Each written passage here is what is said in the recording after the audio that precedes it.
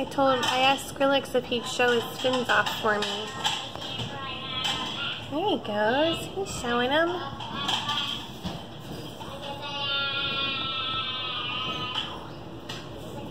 Yeah. Oh. Where you going? You're hiding now?